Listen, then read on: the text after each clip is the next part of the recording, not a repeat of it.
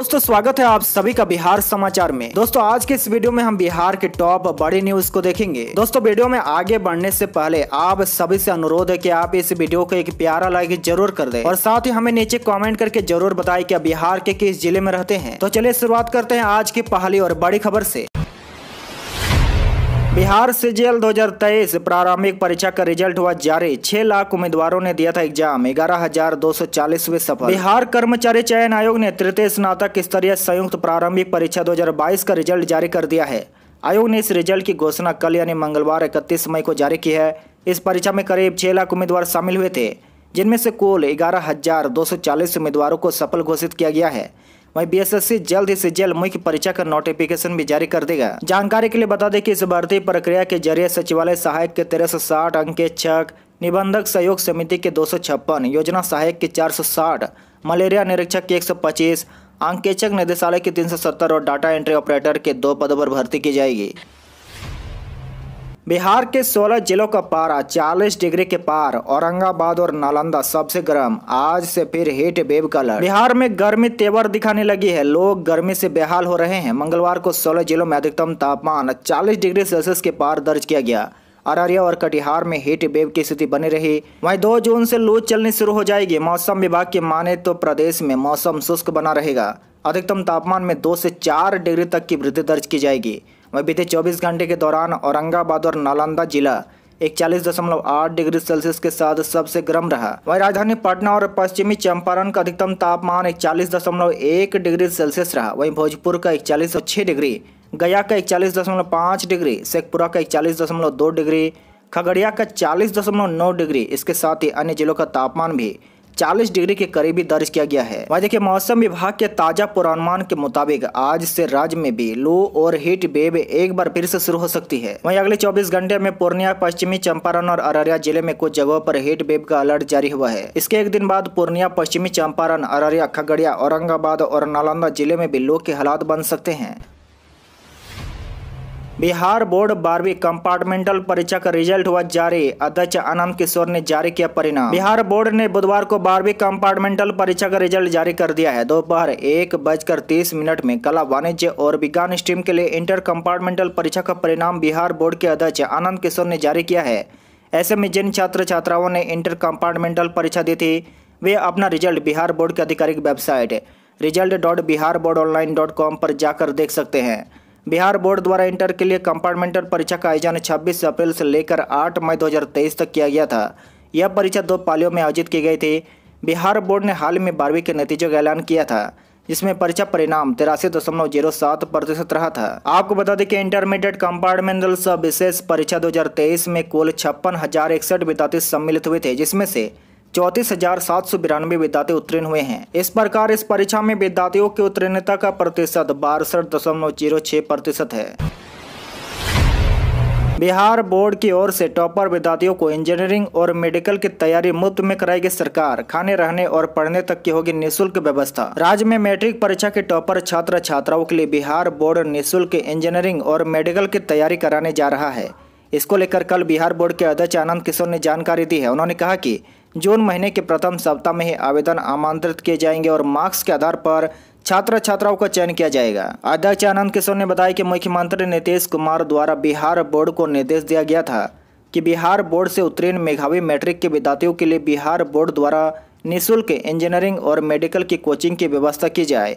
उन्होंने बताया कि मुख्यमंत्री के निर्देश पर ही मेडिकल और इंजीनियरिंग की तैयारी के लिए बिहार बोर्ड के टॉपर्स के लिए निःशुल्क कोचिंग की व्यवस्था की जा रही है। इस योजना के अंतर्गत पटना के दो विद्यालयों को चिन्हित किया गया है, जिसमें लड़कों के लिए पटना कॉलेजिएट विद्यालय और लड़कियों के लिए बाकीपुर बालिका उच्च विद्यालय। इन दोनों विद्यालयों में छात्र छात्राओं को निःशुल्क आवासन और कोचिंग की व्यवस्था उपलब्ध कराई जाएगी। इसके साथ ही दोनों विद्यालयों में ही इन लोगों का इंटरमीडिएट में नामांकन होगा और इसके लिए दोनों विद्यालयों के इंटरमीडिएट के छात्रों को नामांकन की क्षमता को बढ़ाया जाएगा। बिहार में घर बनाने को सात से पंद्रह दिन में ही नक्शा होगा पास। ऑटो मैप पोर्टल से नई सुविधा बहाल। पाटना नगर निगम के साथ राज्य के सभी 19 नगर निगमों में मकान व भवन के लिए नक्शा पास करने की नई व्यवस्था लागू कर दी गई है। नगर विकास विभाग ने नक्शा पास कराने के लिए वस्तुविदों अभियंताओं, संरचना अभियंताओं, नगर निवेशकों पर्यवेक्षकों और भवन निर्माण से जुड़े सात सौ नौ तकनीकी विशेषज्ञों के नई सिरे से निबंधन कर दिया गया है। इसी कड़ी में मंगलवार को पूरे राज्य के नगर निगमों से इन सभी लोगों की वर्चुअल ट्रेनिंग कराई गई, जिसमें 424 नव पंजीकृत कर्मी शामिल हुए। सभी नव पंजीकृत वस्तुविदों एवं अभियंताओं को निर्देश दिया गया कि छोटे नक्शे को सात दिन एवं बड़े नक्शों को पंद्रह दिन के अंदर पास करें। बड़े घर में देखिए, कन्हैया के साथ मंच साधक करने से तेजस्वी का इंकार कुमार प्रजाति समाज के कार्यक्रम में मुख्य अतिथि थे, लेकिन नहीं पहुँचे। पिछले लोकसभा चुनाव, यानी 2019 की बात है देश भर के वामपंथी नेताओं के साथ सेकुलर जमात ने राजद से गुहार लगाई थी कि वह बिहार के बेगूसराय सीट पर अपना उम्मीदवार नहीं उतारे। लेकिन सीपीआई ने उसी सीट से जेएनयू छात्र संघ के अध्यक्ष कन्हैया कुमार को मैदान में उतारा था, लेकिन कन्हैया कुमार और बीजेपी के आमने सामने की लड़ाई में राजद ने अड़ंगा डाल दिया था। राजद ने उस सीट से अपना उम्मीदवार उतारा था। उसी समय ये चर्चा थी कि तेजस्वी यादव बिहार में कन्हैया कुमार को नेता नहीं बनना देना चाहते हैं। आज फिर यह बात साबित हो गई। पटना में कल बिहार कुमार प्रजाति समन्वय समिति का सम्मेलन हुआ। डिप्टी सीएम तेजस्वी यादव इसके मुख्य अतिथि और उद्घाटन करता थे, लेकिन कार्यक्रम के खत्म होने तक तेजस्वी यादव का इंतज़ार होता रह गया, वे नहीं पहुँचे। दरअसल इस कार्यक्रम में कांग्रेस के नेता कन्हैया कुमार को भी आयोजकों ने आमंत्रित कर लिया था। मंच पर कन्हैया कुमार को भी बैठना था। यह खबर तेजस्वी यादव की आवास तक पहुँची और फिर डिप्टी सीएम ने कार्यक्रम में आने से इनकार कर दिया। हालाँकि, आधिकारिक तौर पर यह नहीं कहा जा सकता है कि तेजस्वी यादव इसलिए नहीं आए क्योंकि कन्हैया कुमार को मंच पर बैठना था। लेकिन चर्चा यही है कि तेजस्वी यादव किसी सूरत में कन्हैया कुमार के साथ मंच साझा नहीं करना चाहते हैं।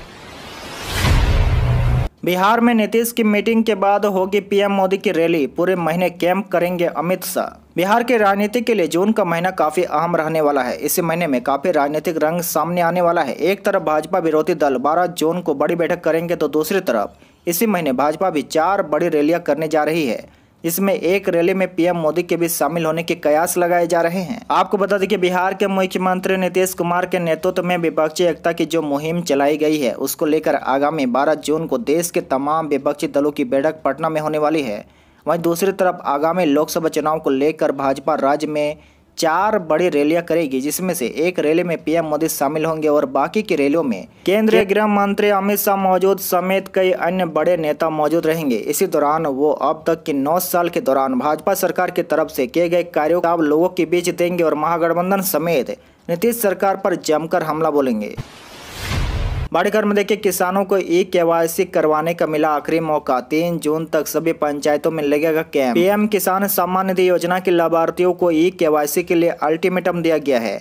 जिन किसानों को किसी कारणवश ए के नहीं हुआ है, उन्हें हर हाल में ए के करना ज़रूरी है। इसके लिए तीन जून तक का समय दिया गया है। फ़िलहाल प्रधानमंत्री किसान योजना के पात्र किसान चौदहवीं किस्त का इंतज़ार कर रहे हैं। हालाँकि इसके लिए किसानों को ई के करवाना ज़रूरी है।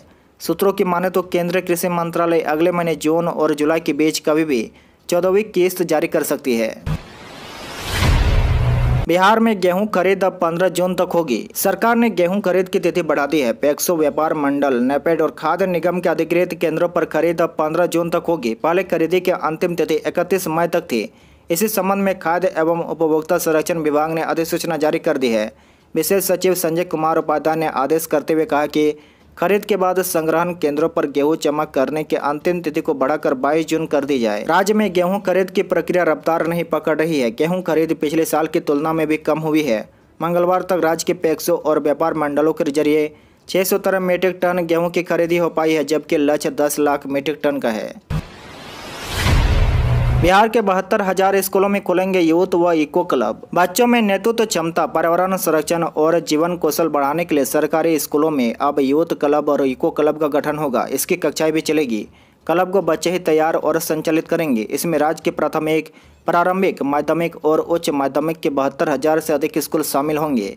नई शिक्षा नीति 2020 के तहत यूथ क्लब और इको क्लब का गठन किया जाएगा। इसमें कक्षा एक से बारहवीं तक के स्कूल को शामिल किया गया है। यह जुलाई में शुरू होगा। बिहार शिक्षा परियोजना परिषद द्वारा सभी जिला शिक्षक कार्यालय को सूचित कर दिया गया है।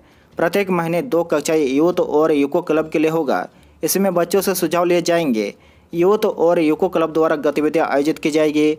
हर गतिविधि को फोटोग्राफी और वीडियोग्राफी होगी। इसे दिसंबर में राज्य कार्यालय में भेजना होगा।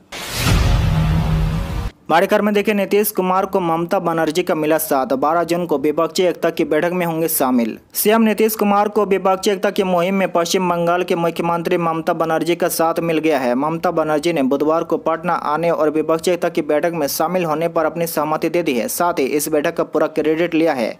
विपक्षी एकता को लेकर बारह जून को बैठक होनी है। हालाँकि अब तक सीएम नीतीश कुमार ने बारह जून को लेकर बयान नहीं दिया है, लेकिन ममता के बयान के बाद यह बैठक लगभग तय मानी जा रही है। पश्चिम बंगाल के मुख्यमंत्री ममता बनर्जी ने वीडियो जारी करते हुए कहा कि उन्होंने ही मुख्यमंत्री नीतीश कुमार से पटना में बैठक करने को कहा था, इसकी तैयारी करने को कही थी। इसमें सभी लोग राज़ी हुए थे।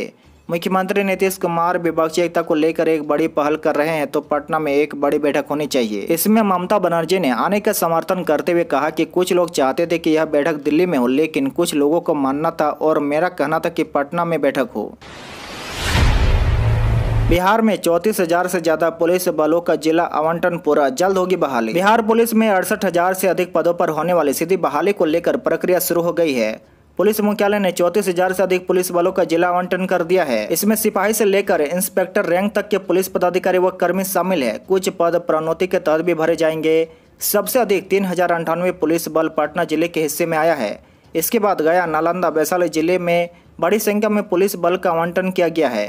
बिहार पुलिस मुख्यालय के द्वारा जिन चौंतीस हज़ार पुलिस बलों का जिला आवंटन हुआ है, उसमें से सात हज़ार सौ पद जनसंख्या के अनुपात वाले हैं। यह पद वर्ष 2013 में ही स्वीकृत हुए थे। उस समय तियालीस हज़ार सात सौ इकसठ पदों के सृजन की स्वीकृति मिली थी। इसके तहत चार चरणों में पुलिस बहाली पूरी हो गई थी, जबकि कोरोना के कारण पाँचवें चरण की बहाली लंबी थी। जनसंख्या अनुपात के अनुसार ही इन सात हज़ार छह सौ पैतालीस पदों का जिलावार आवंटन किया गया है। इसमें से एक सौ चौ इंस्पेक्टर, नौ सौ बत्तीस दारोगा, बारह सौ और एक हज़ार उनचालीस हवलदार और चार हज़ार दो सौ छिहत्तर सिपाही है। भारतीय नंबर की गाड़ी से नेपाल जाना हुआ महँगा। नेपाल के बजट का भारत में असर हुआ है। भारतीय वाहनों से अब नेपाल जाना लोगों को महँगा पड़ेगा। भारतीय वाहनों के लिए नेपाल में प्रवेश शुल्क की बढ़ोतरी कर दी गई है। बताया जा रहा है कि नेपाल सरकार ने संसदीय संसद में सोमवार को सत्रह खरब इक्यावन अरब रुपये के बजट पेश किया। बजट के बाद भारतीय वाहनों के प्रवेश शुल्क में सौ रुपये का इजाफा किया गया है। नेपाल के जनकपुर धाम तक जाने के लिए भारतीय चारपहिया वाहन का प्रवेश शुल्क पाँच सौ रुपये लगता था, लेकिन बजट के बाद अब छः सौ रुपये की पर्ची कट रही है।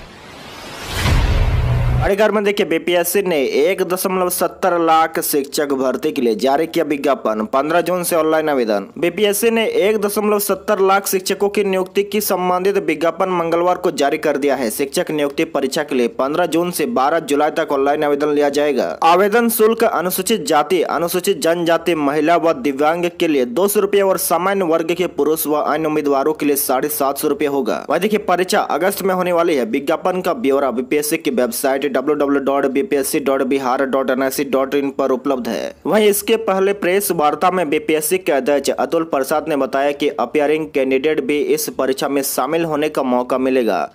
31 अगस्त 2023 तक जिन छात्रों की अर्हता संबंधी परीक्षा हो गई है या फिर हो जाएगी, लेकिन रिज़ल्ट नहीं निकल पाएगा। उनको भी शिक्षक नियुक्ति परीक्षा में भाग लेने का मौका मिलेगा। साथ ही उन्होंने कहा कि अगस्त में घोषित संभावित तिथि पर ही परीक्षा लेने का प्रयास किया जाएगा। उसके बाद दो तीन महीने में रिज़ल्ट निकाल दिया जाएगा। इस वर्ष के अंत तक तो किसी भी हाल में हम रिज़ल्ट निकाल ही देंगे।